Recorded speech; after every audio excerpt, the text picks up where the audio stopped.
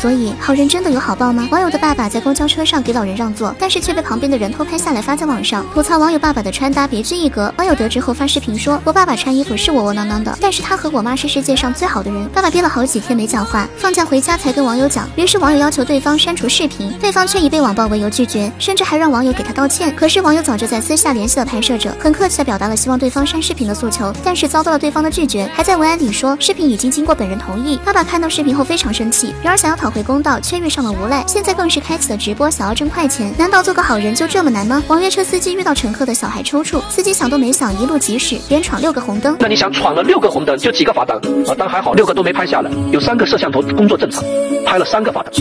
闯红灯扣几分？扣六分，这一下就扣掉十八分，那就意味着这个网约车司机要干嘛？驾照要重学的。你说你这是影响别人的生计啊！如果注定好人没好报，谁还会选择继续做好人？这司机向交警反映，交警说，那你得有证据吗？你这样吧，你联系当时的乘客，让他们出个证据，把医疗证明拍过来就可以了。结果网约车司机给那个乘客打电话，乘客不接，乘客知道这个事情拒不提供。大家觉得这让不让人寒心？真的是让人寒心。如果你是网约车司机，以后你看到这种情况，你还闯红灯吗？搭黄包车的老人被女顾客殴打，仅仅是想少给一元车费。报警了没有？报了报了，报了啊！我没讨账，这讨债我亏钱，已经讲好了，不给你讲好了，再来。路人扶起摔倒的男子，没想到却反被讹。